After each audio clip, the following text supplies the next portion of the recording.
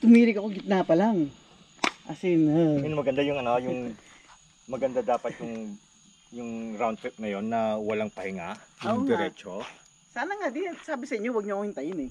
Ba, hindi ka na ba namin? Oo.